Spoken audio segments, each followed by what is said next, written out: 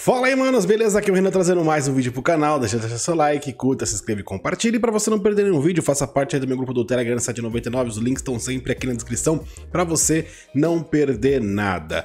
Manos, aproveita também segue meu parceiro, né? Tem a Zeplay TV pra você assistir todos os jogos da Copa por um preço super especial.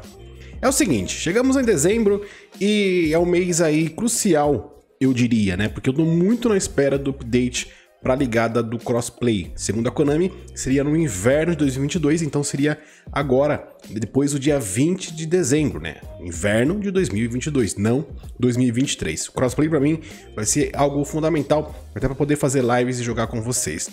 Mas hoje, assim, a, a gente tá no clima de Copa do Mundo ainda, né? A, embora a Konami não tenha licença, tá lançando as cartas, os jogadores licenciados aí da Copa.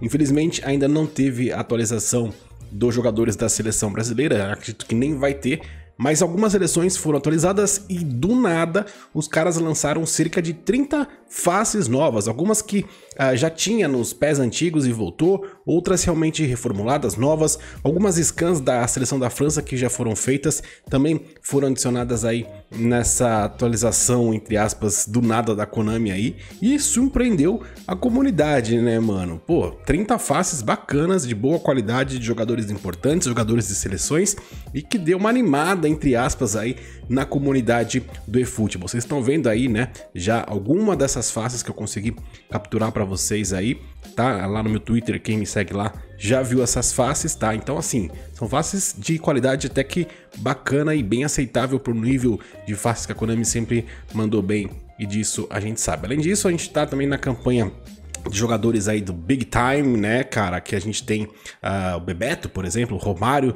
e muita gente que é fanática por esses jogadores estão doidas atrás de tirar ele. Além disso, jogadores upados da semana da Copa, o Richarlison, que é uma boa pedida aí, podem chegar até 96 de overall para você ter ele aí no seu time. Você já tirou o Richardson ou não? Deixa aí nos comentários. Mano, essa semana também o Robin vai estar no Brasil. Obviamente não vai ter nenhuma grande novidade, mas assim que tiver qualquer informação eu trago para vocês nas redes sociais e também aqui no canal. Então é importante você se inscrever para não perder nada. Por hoje é isso, manos. Um grande abraço, é nóis. Tamo junto.